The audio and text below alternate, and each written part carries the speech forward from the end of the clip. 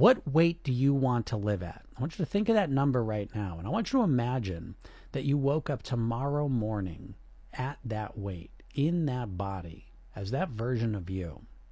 I want you to imagine lying in bed before you've even opened your eyes and you're in that body. And I want you to connect to it. Notice what it feels like to be in that body, to be that version of you. Imagine yourself hopping out of bed, getting dressed in the exact clothes that you want to wear, how it feels to get dressed in those clothes, knowing you look this way, knowing that you feel this way. Notice how you walk, how you hold yourself, how it feels to look in the mirror at yourself as this version of you. And now imagine yourself moving through your day. What foods are you craving? What foods do you desire? How much easier it is to say no to the unhealthy foods. I want you to feel all of that right now. Now imagine moving through your day, running into the people that you expect to run into, and how it would feel to communicate and speak with them.